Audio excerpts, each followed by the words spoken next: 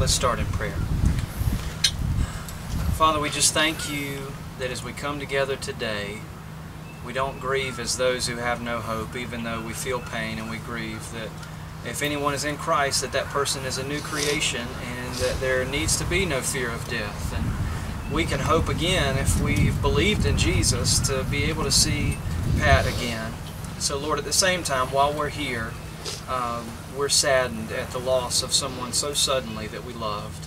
So, God, I just ask today that you would comfort the family, uh, that you would just be with Doug and with Tony and with Tiffany and their, their whole family, that you just give them strength and lift them up during this time, uh, that you would allow them to lean on you and that your special peace would just come through in a special way.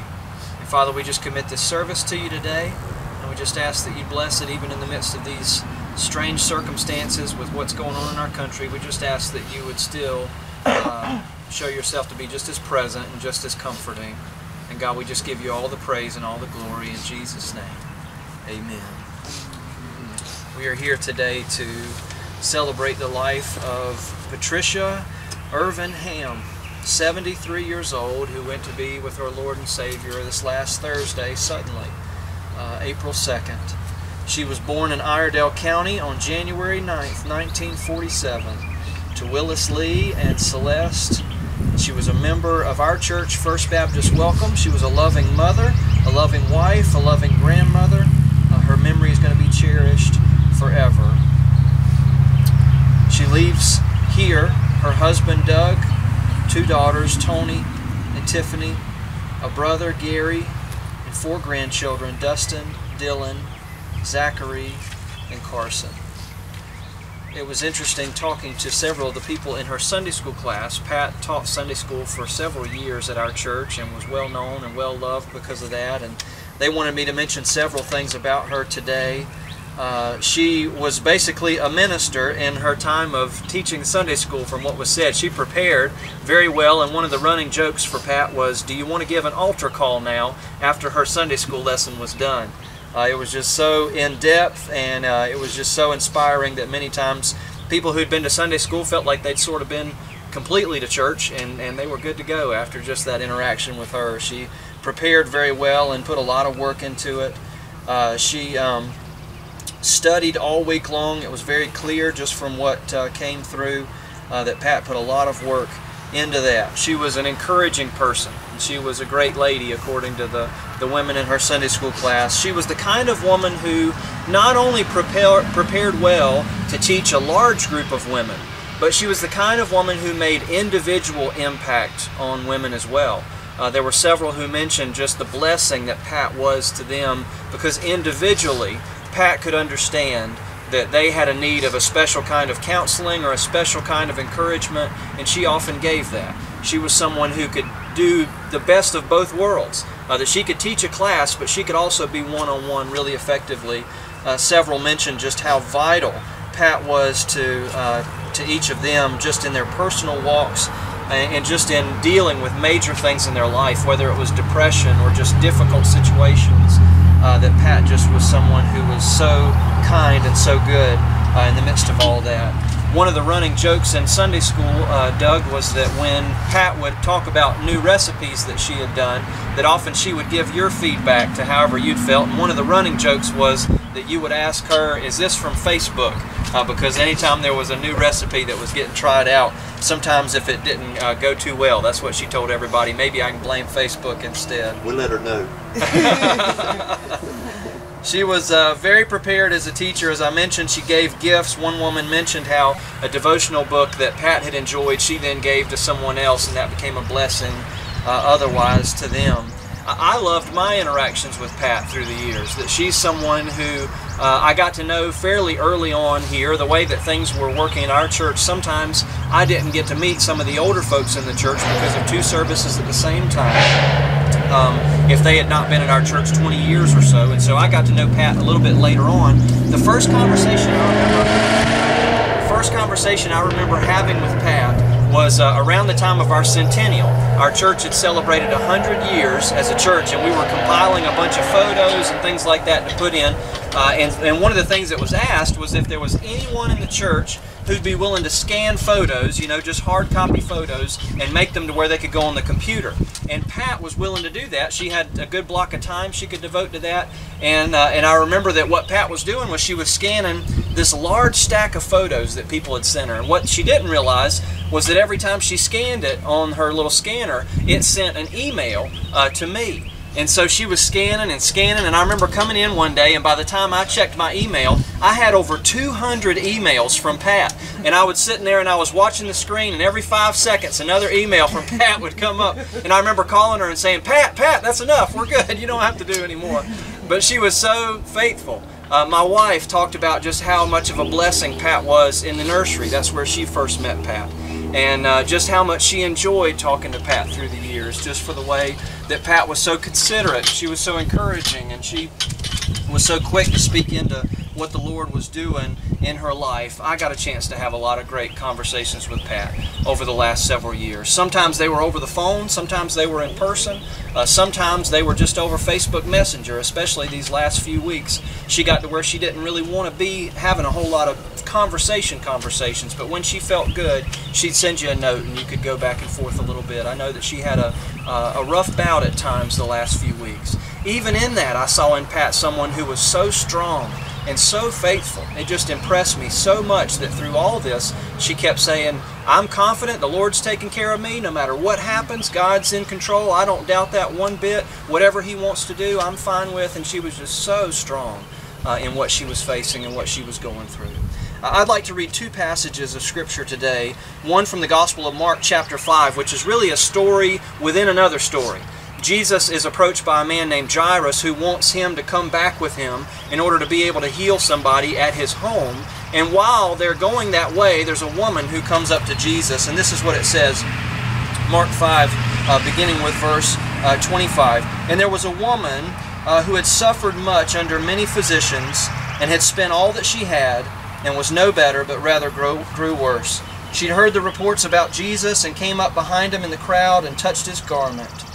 For she said, If I even touch his garment, I'll be made well. And immediately the flow of blood dried up, and she felt in her body that she was healed from her disease. And Jesus, perceiving in himself that power had gone out from him, immediately turned about in the crowd and said, Who touched my garments? And his disciples said to him, You see the crowd pressing around you, and yet you say, Who touched me? And he looked around to see who had done it, but the woman, knowing what had happened to her, came in fear and trembling and fell down before Jesus and told him the whole truth. And he said to her, Daughter, your faith has made you well. Go in peace and be healed of your disease. I couldn't help but think of Pat in, in thinking of what to, to preach on this morning or this afternoon. I couldn't help but think of this story that a woman comes up to Jesus in the midst of him going somewhere else and she's willing to interrupt Jesus. She's willing to step out in faith and to do something that's not necessarily what everybody else would be doing in this moment. And she believes enough to, in Jesus that she says, you know what? I don't have to speak to him. He doesn't have to know my name. If I can only just touch his garments, I know that's going to be enough. And, I feel like knowing Pat that she had that kind of faith. She was willing to reach out in moments perhaps when others wouldn't. She was willing to believe in times when it was really difficult. And I think she had a real belief in not only the truth about who Jesus was, but the power that was available to those who knew Jesus and trusted in Him. She believed that God's will was sovereign, that she couldn't control it and just decide, well, I'm going to be healed. But she also knew whatever God wants to do, I know that He can do it and that He will do it. And she believed very strongly in the power of God in everyday life, not only for herself, but for others around her.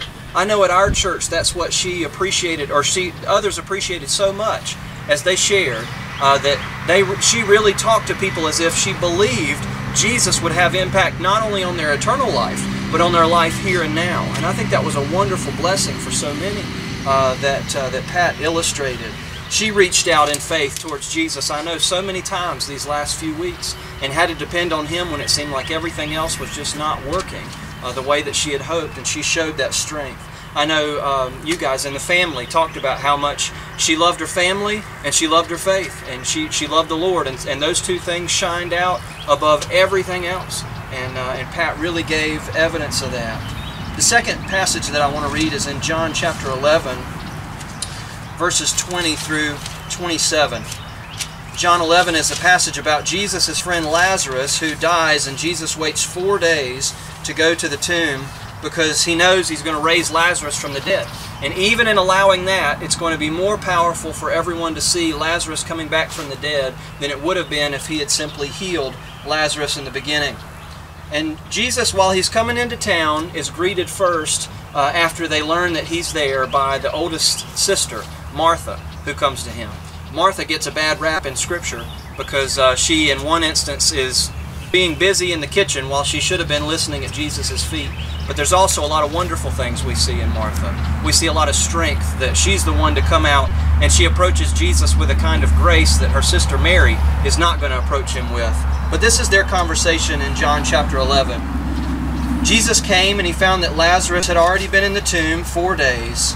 Bethany was near Jerusalem, about two miles off, and many of the Jews had come to Martha and Mary to console them concerning their brother. So when Martha heard that Jesus was coming, she went and met him but Mary remained seated in the house. Martha said to Jesus, Lord, if you had been here, excuse me, uh, my brother would not have died. But even now I know that whatever you ask from God, God will give you. Jesus said to her, Your brother will rise again. Martha said to him, I know that he'll rise again in the resurrection on the last day. But Jesus said to her, I am the resurrection and the life. Whoever believes in me, though he die, yet shall he live and everyone who lives and believes in me shall never die. Do you believe this? She said to him, Yes, Lord. I believe that you're the Christ, the Son of God, who's coming into the world. Martha believed in an abstract theological reality that was going to happen at some distant point. And as she comes out to talk to Jesus, and she says, Lord, if you'd been here, my brother wouldn't have died. Jesus responds to her to say, Your brother will rise again. Martha starts off by repeating kind of the Sunday school answer that she's learned. Yes, I know, in some distant time and far away, he's going to rise again, but that doesn't really help me right now. And Jesus says, No, you don't understand. I am the resurrection and the life. Any who believe in me, even though they die, yet shall they live. And then Jesus poses the important question that he poses to all of us Do you believe this? You know, the great hope for anybody watching this video or, or any of us today that we would that Pat would want us to know is that the defining reality of our life is whether or not we've believed in Jesus in a way that leans on Him instead of anything else. That's the great hope that Pat had. As she walked through the things of this world, she wasn't just hoping for a pie in the sky dream that was going to happen someday. She was hoping in what Jesus wanted to do right now in this moment in her life, whenever it was. And she realized that the same Jesus that provided eternal hope provides immediate hope for each one of us. The thing she would want for each one of us here today is to, to deal real seriously with the question of do we know Jesus in the way that she did? Do we have that eternal hope, not that we can accomplish on our own, but that Jesus has provided in himself? Anyone, Jesus says, who dies, even though he would die, yet shall he live. Pat knew that hope. She had a great amount of strength just simply walking through things that were very difficult, but doing so as unshakable as anybody I've ever seen. And so as we remember who she was to each one of us, as we commit her body to the ground, we can do so with the reality that though we commit her shell here, her spirit is with the Lord. The Bible says to be absent from the body is to be present from the, with the Lord, and I believe very strongly that's where Pat is. She wouldn't come back at this moment. She's rejoicing and finally seeing all of her hopes and dreams realized. Won't you pray with me? Father, we thank you for this dearly departed servant who we loved, and I know for people standing here, they loved as a wife, as a mother, as a grandmother, as a friend. So, Lord, we come to you again in our grief, just asking for your aid and your help. And Lord, we just ask that we could also see in the way that Martha had to see, the way that we believe Pat saw in her life, and uh, the way that Jesus points us to here, that the reality of who He is and His defeat of death and what happens for those who believe in Him is not simply a distant, far away reality, but a reality that points to the great hope each day that we can take hold of. That Jesus Christ is walking with us all along the way, and we go exactly where He's leading.